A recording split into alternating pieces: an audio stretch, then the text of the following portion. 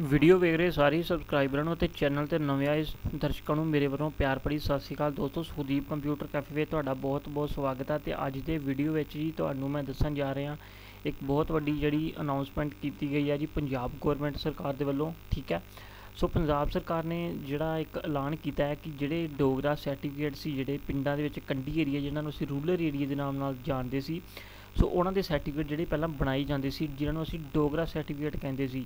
Dogra certificate ਕੁਝ time ਪਹਿਲਾਂ, ਅੱਜ ਤੋਂ 3-4 ਸਾਲ ਪਹਿਲਾਂ ਜਿਹੜੇ ਆ, ਉਹ ਬੰਦ ਕਰ ਦਿੱਤੇ ਗਏ ਸੀ। ਬਟ ਹੁਣ ਲੋਕਡਾਊਨ ਦੇ ਵਿੱਚ ਪੰਜਾਬ ਸਰਕਾਰ ਨੇ ਬਹੁਤ ਸਾਰੇ ਜਿਹੜੇ ਆ ਨੋਟਿਸ ਜਿਹੜੇ ਆ ਤੇ ਕੁਝ ਇਦਾਂ ਦੇ ਕੰਮ ਸੀ ਜਿਹੜੇ, ਉਹ ਜਿਹੜੇ ਆ ਬੰਦ ਕੀਤੇ ਗਏ ਸੀ ਬਟ ਉਹ ਹੁਣ ਦੁਬਾਰਾ ਸਟਾਰਟ ਕਰ ਦਿੱਤੇ ਗਏ ਆ।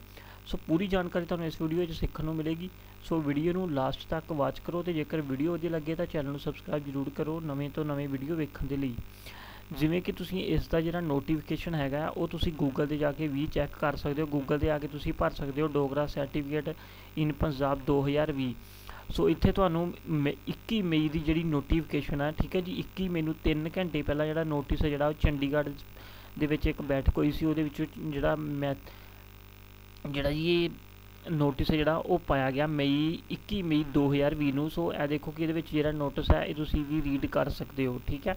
ਸੋ ਮੈਂ ਤੁਹਾਨੂੰ ਪੂਰੀ ਜਾਣਕਾਰੀ ਜਿਹੜੀ ਆ ਉਹ ਪੰਜਾਬੀ ਵਿੱਚ ਜਿਹੜੀ ਆ ਉਹ ਦੇ ਦੇਣਾ ਜਿਵੇਂ ਕਿ ਇੱਥੇ ਲਿਖਿਆ ਹੋਇਆ ਕਿ ਪੰਜਾਬ ਸਰਕਾਰ ਮਾੜ ਪੁਨਰ ਵਾਸਤੇ ਡਿਸਾਸਟਰ ਮੈਨੇਜਮੈਂਟ ਵਿਭਾਗ ਤੋਂ ਮਾਲੀਆ ਸਾਖਾ, ਠੀਕ ਹੈ? ਸੋ ਇਹਦੇ ਵਿੱਚ ਦੇਖੋ ਕਿ ਸੇਵਾ ਵਿਖੇ ਪੰਜਾਬ ਰਾਜ ਦੇ ਸਮੂਹ ਮੰਡੀ ਦੇ ਕਮਿਸ਼ਨਰ ਤੇ ਪੰਜਾਬ ਰਾਜ ਦੇ ਸਮੂਹ ਡਿਪਟੀ ਕਮਿਸ਼ਨਰ ਅਤੇ ਪੰਜਾਬ ਰਾਜ ਦੇ ਸਮੂਹ ਉਪ ਮੰਡਲ ਮੈਜਿਸਟ੍ਰੇਟ ਤਹਿਸੀਲਦਾਰ ਨਾਇਬ ਤਹਿਸੀਲਦਾਰ ਤੇ ਮੀਮੋ ਨੰਬਰ ਜਿਹੜਾ ਆਇਆ ਹੈਗਾ ਜੀ ਉਹ 2655 2012 LR 34268 ਚੰਡੀਗੜ੍ਹ ਮਿਤੀ 25 2020 ਠੀਕ ਹੈ? ਸੋ ਵਿਸ਼ਾ ਹਿੰਦੂ ਡੋਗਰਾ ਸਰਟੀਫਿਕੇਟ ਜਾਰੀ ਕਰਨ ਵਾਸਤੇ। ਸੋ ਹਿੰਦੂ ਡੋਗਰਾ ਸਰਟੀਫਿਕੇਟ ਜਿਹੜਾ ਜਾਰੀ ਕਰਨ ਬਾਰੇ ਇੱਕ ਵਿਸ਼ਾ ਜਿਹੜਾ ਰੱਖਿਆ ਗਿਆ ਸੀ ਹਿੰਦੂ ਡੋਗਰਾ ਜਾਤੀ ਸਰਟੀਫਿਕੇਟ ਜਾਰੀ ਕਰਨ ਸੰਬੰਧੀ। ਇਸ ਦਫ਼ਤਰ ਵੱਲੋਂ ਵੱਖ-ਵੱਖ ਸਮੇਂ ਤੇ ਜਾਰੀ ਹੋਈਆਂ ਸਾਰੀਆਂ ਹਦਾਇਤਾਂ ਨੂੰ ਬੇਅਸਰ ਕਰਦੇ ਹੋਏ ਹੁਣ ਸਰਕਾਰ ਨੇ ਫੈਸਲਾ ਕਰ ਦਿੱਤਾ ਹੈ ਕਿ ਪੰਜਾਬ ਦੇ ਡੋਗਰਾ ਸ਼੍ਰੇਣੀ ਨਾਲ ਸੰਬੰਧਿਤ ਪਰਿਵਾਰਾਂ ਦੇ ਬੱਚਿਆਂ ਨੂੰ ਆਰਮਡ ਫੋਰਸ ਅਤੇ ਪੈਰਾ ਮਿਲਟਰੀ ਫੋਰਸ ਵਿੱਚ ਭਰਤੀ ਦੌਰਾਨ ਛੋਟਾਂ ਲੈਣ ਤੇ ਮਤਲਬ ਲਈ ਇਹ ਸਰਟੀਫਿਕੇਟ ਹੇਠ ਲਿਖੀਆਂ ਅਨੁ ਸ਼ਰਤਾਂ ਦੇ ਅਨੁਸਾਰ ਜਿਹੜਾ ਜਾਰੀ ਕੀਤਾ ਜਾਵੇਗਾ। ਸੋ ਬਹੁਤ ਵੱਡੀ ਜਿਹੜੀ ਖੁਸ਼ਖਬਰੀ ਹੈ ਹਿੰਦੂ ਲੋਕਾਂ ਦੇ ਲਈ ਤੇ ਡੋਗਰੀ ਤੇ ਕੰਢੀ ਲੋਕਾਂ ਦੇ ਲਈ ਜਿਨ੍ਹਾਂ ਨੂੰ ਡੋਗਰਾ ਸਰਟੀਫਿਕੇਟ ਜਿਹੜਾ ਉਹ ਬਣਾ ਕੇ ਦਿੱਤਾ ਜਾਵੇਗਾ, ਜਿਸ ਦੇ ਨਾਲ ਉਹ ਆਰਮੀ ਦੀ ਭਰਤੀ ਦੇਖ ਸਕਦੇ ਨੇ ਬੀਐਸਐਫ ਦੀ ਭਰਤੀ ਦੇਖ ਸਕਦੇ ਨੇ, ਜਾਂ ਫਿਰ ਜਿੰਨੀਆਂ ਵੀ ਪੈਰਾਮਿਲਟਰੀ ਫੋਰਸਸ ਵਿੱਚ ਜਿਹੜੀਆਂ ਭਰਤੀਆਂ ਆ, ਉਹ ਦੇਖ ਸਕਦੇ ਨੇ, ਜਿਨ੍ਹਾਂ ਦੀ ਹਾਈਟ ਬਹੁਤ ਜ਼ਿਆਦਾ ਛੋਟੀ ਹੁੰਦੀ ਆ, ਉਹ ਵੀ ਇਹ ਭਰਤੀਆਂ ਦੇਖ ਸਕਦੇ ਨੇ, ਕਿਉਂਕਿ ਡੋਗਰਾ ਸਰਟੀਫਿਕੇਟ ਦੇ ਨਾਲ ਬਹੁਤ ਸਾਰੀਆਂ ਜਿਹੜੀਆਂ ਸਹੂਲਤਾਂ ਆ, ਉਹ ਦਿੱਤੀਆਂ ਜਾਂਦੀਆਂ, ਕਿਸੇ ਨੂੰ ਚੈਸਟ ਵਿੱਚ, ਕਿਸੇ ਨੂੰ ਹਾਈਟ ਵਿੱਚ ਠੀਕ ਹੈ? ਸੋ ਇਸ ਤੋਂ ਅੱਗੇ ਜੀ ਗੱਲ ਕਰ ਲੈਣੇ ਹੈਗੇ ਆ ਕੁਝ ਜਿਹੜੇ ਸੀਰੀਅਲ ਨੰਬਰ ਵਗੈਰਾ ਆਏ ਹੈਗੇ, ਇਹਦੇ ਨੇ ਵਨ ਬਾਈ ਵਨ ਮੈਂ ਤੁਹਾਨੂੰ ਡਿਸਕ੍ਰਿਪ ਕਰਾਂਗਾ ਕਿ ਕਿਹੜੇ ਕਿਹੜੇ ਇਲਾਕਿਆਂ ਵਿੱਚ ਕਿਹੜੇ ਕਿਹੜੇ ਜ਼ਿਲ੍ਹਿਆਂ ਵਿੱਚ ਤੇ ਕਿਹੜੇ ਕਿਹੜੇ ਸ਼ਹਿਰਾਂ ਦੇ ਵਿੱਚ ਇਹ ਸਰਟੀਫਿਕੇਟ ਜਿਹੜਾ ਉਹ ਬਣਾਉਣਾ ਜਿਹੜਾ ਜਿਹੜਾ ਲਾਗੂ ਕਰ ਦਿੱਤਾ ਗਿਆ। ਸੋ ਇਹ ਸਰਟੀਫਿਕੇਟ ਜ਼ਿਲ੍ਹਾ ਪਠਾਨਕੋਟ, ਗੁਰਦਾਸਪੁਰ ਅਤੇ ਹੁਸ਼ਿਆਰਪੁਰ ਦੇ ਸਾਰੇ ਵਸਨੀਕਾਂ ਤੇ ਜ਼ਿਲ੍ਹਾ ਸ਼ਹੀਦ ਭਗਤ ਸਿੰਘ ਨਗਰ ਦੀ ਤਹਿਸੀਲ ਬਲਾਚੌਰ ਤੇ ਜ਼ਿਲ੍ਹਾ ਰੂਪਨਗਰ ਦੀਆਂ ਨੰਗਲ ਅਤੇ ਸ਼੍ਰੀ ਅਨੰਦਪੁਰ ਸਾਹਿਬ ਤਹਿਸੀਲ ਦੇ ਵਸਨੀਕਾਂ ਨੂੰ ਹੀ ਜਾਰੀ ਕੀਤਾ ਜਾਵੇਗਾ। ਇਹ ਸਰਟੀਫਿਕੇਟ ਉਹਨਾਂ ਨੂੰ ਬੱਚਿਆਂ ਨੂੰ ਵੀ ਜਾਰੀ ਕੀਤਾ ਜਾਵੇਗਾ ਜੋ ਪੜ੍ਹਾਈ ਜਾਂ ਕਿਸੇ ਹੋਰ ਕਾਰਨ ਇਸ ਇਲਾਕੇ ਵਿੱਚ ਨਹੀਂ ਰਹਿੰਦੇ, ਪਰੰਤੂ ਉਹਨਾਂ ਦੇ ਪਿਤਾ ਜਾਂ ਦਾਦਾ ਇਸ ਇਲਾਕੇ ਦੇ ਵਸਨੀਕ ਹਨ ਅਤੇ ਬਾਕੀ ਸਾਰੀਆਂ ਸ਼ਰਤਾਂ ਵੀ ਪੂਰੀਆਂ ਕਰਦੇ ਹਨ। ਨੰਬਰ 3 ਤੇ ਗੱਲ ਕਰ ਲੈਣੇ ਜੀ, ਡੋਗਰਾ ਸ਼੍ਰੇਣੀ ਦੇ ਲੋਕਾਂ ਦੀਆਂ ਕਈ ਜਾਤਾਂ ਦੇ ਧਰਮ ਹੋ ਸਕਦੇ ਹਨ, ਕਿਉਂਕਿ ਇੱਕ ਖਾਸ ਖਿੱਤੇ ਦੇ ਵਸਨੀਕਾਂ ਨੂੰ ਡੋਗਰਾ ਸ਼੍ਰੇਣੀ ਵਿੱਚ ਮੰਨਿਆ ਗਿਆ।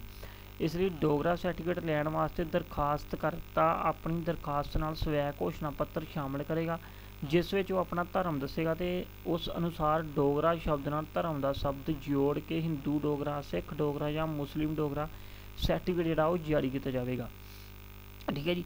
ਸੋ ਇਹਦੇ ਵਿੱਚ ਦੇਖੋ ਕਿ ਗੁਰਦਾਸਪੁਰ, ਪਠਾਨਕੋਟ, ਹੁਸ਼ਿਆਰਪੁਰ, ਬਲਾਚੌਰ, ਨੰਗਲ ਜਿਹੜੇ ਅਤੇ ਅਨੰਦਪੁਰ ਸਾਹਿਬ ਵਿੱਚ ਜੋ ਵੀ ਲੋਕ ਰਹਿੰਦੇ ਹੈਗੇ ਨੇ, ਜਿਨ੍ਹਾਂ ਦੇ ਜੇਕਰ ਉਹਨਾਂ ਦੇ ਬੱਚੇ ਅੱਜ ਤੋਂ ਮਤਲਬ ਕਿ ਕਿਤੇ ਹੋਰ ਜਗ੍ਹਾ ਪੜ੍ਹ ਰਹੇ ਹੈਗੇ ਨੇ, ਠੀਕ ਹੈ, ਉਹ ਕਿਸੇ ਮਤਲਬ ਕਿ ਉਹਨਾਂ ਦਾ ਸ਼ਹਿਰ ਕੋਈ ਹੋਰ ਹੈ ਅਤੇ ਉਹ ਸਟੱਡੀ ਕਿਤੇ ਹੋਰ ਕਰ ਰਹੇ ਨੇ, ਉਹ ਇਹ ਨਹੀਂ ਹੈ ਕਿ ਉਹ ਇਸ ਸਰਟੀਫਿਕੇਟ ਨੂੰ ਨਹੀਂ ਬਣਾ ਸਕਦੇ, ਉਹ ਇਸ ਸਰਟੀਫਿਕੇਟ ਨੂੰ ਜ਼ਰੂਰ ਬਣਾ ਸਕਦੇ ਹਨ, ਜੇਕਰ ਉਹਨਾਂ ਦਾ ਆਧਾਰ ਕਾਰਡ ਆਪਣੇ ਇਹਨਾਂ ਜ਼ਿਲ੍ਹਿਆਂ ਦੇ ਵਿੱਚੋਂ ਆਧਾਰ ਕਾਰਡ ਤੇ ਜੋ ਐਡਰੈਸ ਹੈ ਠੀਕ ਹੈ, ਉਹ ਇਸ ਸਰਟੀਫਿਕੇਟ ਨੂੰ ਬਣਾ ਸਕਦੇ ਹਨ। ਇਸ ਸਰਟੀਫਿਕੇਟ ਜਿਹੜਾ ਬਣਾਉਣਾ ਹੈ, ਬਹੁਤ ਹੀ ਛੇਤੀ ਜਿਹੜਾ ਹੈ, ਸੁਵਿਧਾ ਕੇਂਦਰ 'ਚ ਇਸ ਦਾ ਕੰਮ ਜਿਹੜਾ ਉਹ ਸਟਾਰਟ ਕੀਤਾ ਜਾਏਗਾ।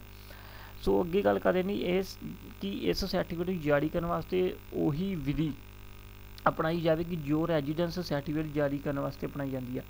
ਸੋ ਜਿਵੇਂ ਕਿ ਤੁਸੀਂ ਵੱਖਰੇ ਵੱਖਰੇ ਸਰਟੀਫਿਕੇਟ ਬਣਾਉਂਦੇ ਹੋ ਕਾਸਟ ਸਰਟੀਫਿਕੇਟ ਬਣਾਉਂਦੇ ਹੋ ਰੂਰਲ ਏਰੀਆ ਸਰਟੀਫਿਕੇਟ ਬਣਾਉਂਦੇ ਹੋ, ਠੀਕ ਹੈ ਰੂਰਲ ਏਰੀਆ ਸਰਟੀਫਿਕੇਟ ਔਰ ਇਸ ਤੋਂ ਇਲਾਵਾ ਤੁਸੀਂ ਆਪਣਾ ਜ- ਜਾਤੀ ਸਰਟੀਫਿਕੇਟ ਬਣਾਉਂਦੇ ਹੋ ਜੱਟ ਸਿੱਖ ਦਾ ਸਰਟੀਫਿਕੇਟ ਬਣਾਉਂਦੇ ਹੋ ਜਾਂ ਸ਼ਡਿਊਲ ਕਾਸਟ ਦਾ ਸਰਟੀਫਿਕੇਟ ਬਣਾਉਂਦੇ ਹੋ। ਸੋ ਸੇਮ ਪ੍ਰੋਸੈਸ ਉਹੀ ਆ ਉਹੀ ਫਾਰਮ ਲੱਗਣਗੇ। ਸੋ ਜਦੋਂ ਹੀ ਇਹ ਫਾਰਮ ਜਿਹੜਾ ਆ ਸੁਵਿਧਾ ਕੇਂਦਰਾਂ ਦੇ ਵਿੱਚ ਅਪਲਾਈ ਕਰਨ ਦਾ ਕੰਮ ਸ਼ੁਰੂ ਹੁੰਦਾ ਹੈ, ਤੇ ਇਸ ਫਾਰਮ ਨੂੰ ਜਦੋਂ ਹੀ ਅਪਲੋਡ ਕੀਤਾ ਜਾਵੇਗਾ ਉਸ ਫਾਰਮ ਨੂੰ ਕਿਵੇਂ ਭਰਨਾ ਹੈ ਉਹਦੀ ਵੀਡੀਓ ਜਿਹੜੀ ਆ ਅਸੀਂ ਛੇਤੀ ਤੋਂ ਛੇਤੀ ਜਿਹੜੀ ਤੁਹਾਡੇ ਤੱਕ ਅਪਲੋਡ ਜ਼ਰੂਰ ਕਰਾਂਗੇ। ਸੋ ਇਦਾਂ ਦੀਆਂ ਜਾਣਕਾਰੀਆਂ ਨਵੀਆਂ ਨਵੀਆਂ ਵੇਖਣ ਲਈ ਤੁਸੀਂ ਸਾਡੇ ਚੈਨਲ ਨੂੰ ਸਬਸਕ੍ਰਾਈਬ ਜ਼ਰੂਰ ਕਰੋ। ਤੇ ਜੇ ਇਸ ਵੀਡੀਓ ਵਿੱਚੋਂ ਜਾਣਕਾਰੀ ਵਧੀਆ ਮਿਲੀ ਹੋਵੇ, ਸੋ ਇਸ ਵੀਡੀਓ ਨੂੰ ਵੱਧ ਤੋਂ ਵੱਧ ਸ਼ੇਅਰ ਕਰੋ। ਅੱਜ ਦੇ ਵੀਡੀਓ ਵਿੱਚ ਨਹੀਂ ਮਿਲਾਂਗੇ ਫਿਰ ਇੱਕ ਨਵੀਂ ਵੀਡੀਓ ਨਾਲ। ਧੰਨਵਾਦ।